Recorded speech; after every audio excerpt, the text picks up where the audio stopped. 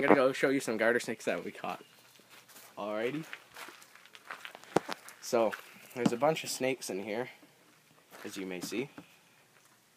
But I'm gonna take this one, which happens to be my snake. I'm gonna close the lid on this. And as you see, this is a very nice snake. And a very nice hand, too. But this is my snake. Its name's Racer. It's apparently a male. It's a butler's garter. And just take a, le- a second to look at the pattern.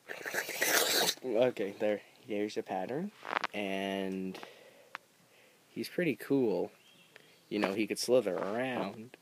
And he could coil into a ball. And he he's he's spider snake. And he does whatever a spider snake does.